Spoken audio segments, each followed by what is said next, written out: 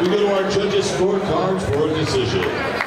All three judges scored the bout identically, 30-27.